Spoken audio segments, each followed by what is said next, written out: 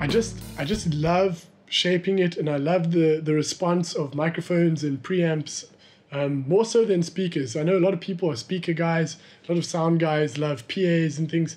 I'm not really too much into that. I'm more I'm more into uh, the relationship between the instrument and the musician, as well as the microphone into the preamp. Uh, and obviously, like I'm concerned about the speakers I'm folding back on, but uh, my favorite thing about working with audio is working with microphones. I suppose I just love that.